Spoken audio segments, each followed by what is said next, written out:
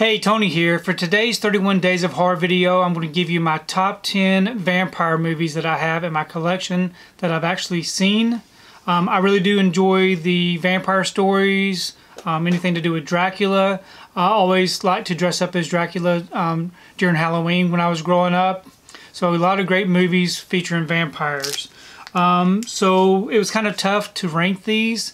So these are definitely just my preferences. First up at number 10, we have Interview with a Vampire. I have seen this just a couple of times. I really enjoy the atmosphere of it and the story. It's a little bit um, draggy in places, sometimes really hard to get into, but I would definitely consider this a top 10 in my collection.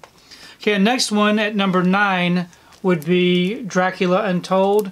I actually saw this one in the theater when it was released. I really enjoyed it. Um, another one that's very atmospheric. Um, I know a lot of people probably didn't like this movie if they've even if they've even checked it out, um, but I would highly recommend checking this one out. I thought it's a really good story. Okay, at number eight, we have Bram Stoker's Dracula, a really good classic um, vampire story. Um, I've seen this one twice. It's another one kind of reminds me a lot of Interview with a Vampire, kind of slow moving at times. At most times it's kind of slow moving, but a really good story and good um, vampire lore as far as Count Dracula. Okay, an action movie with vampires is Blade. Um, I, have always enjoyed Wesley Snipes' Blade. I really enjoyed this story. I saw this particular movie recently, probably about a year ago, I guess whenever the 4K was released. And just as a revisit, the movie really holds up from the time that it was filmed. Um, I really enjoyed the action aspect and the more modernized version of a vampire. Okay, let's see. At number six, we have 30 Days of Night. I've always enjoyed this movie. I thought it's a really good, dark um, another action-packed movie. Some really good vampires um, featured in this story.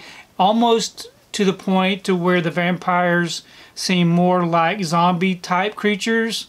Um, very bloody, um, action-packed. If you've never seen 30 Days of Night, I would highly recommend you check that one out. And then some recent vampire stories that I've seen. Um, at number five, I'm going to go with Let the Right One In. Um, this this right here was suggested for me to check out after I watched the um, the Americanized version of this. So I watched this one this just recently this week. Really enjoyed it. Very good story. Um, good acting. You know, mostly featuring the children, uh, a boy and a girl. I thought it's a really good story. Very creepy. Good special effects. So definitely check this one out if you haven't seen it. And then the counterpart for that is the Americanized remake called Let Me In.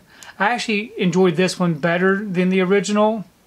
Um, to me, the acting was better. The um, the story was a little bit different in a better way, and um, I really enjoyed it. If you've never seen this movie, definitely check it out. Great performances, great special effects.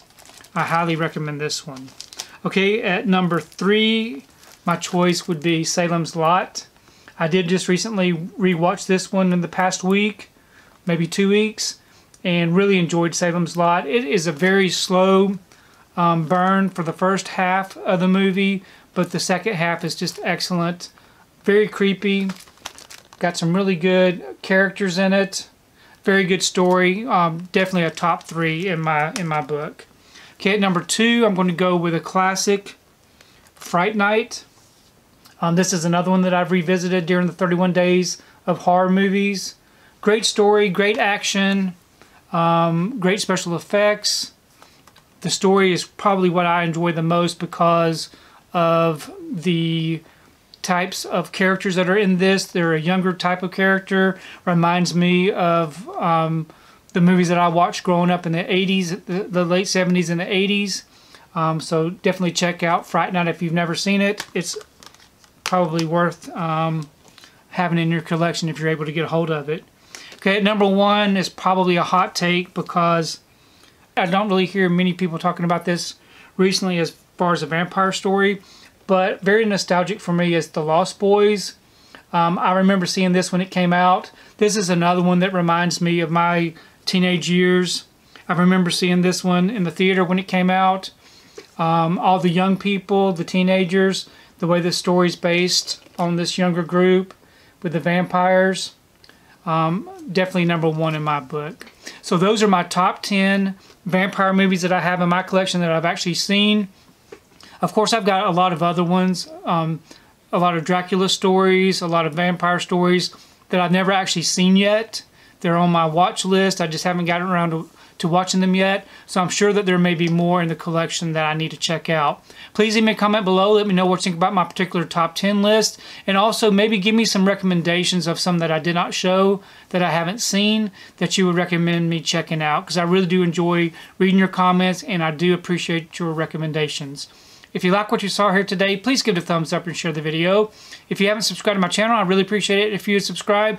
If you do subscribe, please remember to hit that notification bell so that you can be notified every time I upload a new video. If you haven't found me on my social media accounts, I'm on Facebook, Twitter, Instagram, and on TikTok. And if you'd like to find out what I've been watching, you can find me over on Letterboxd. I do have links below.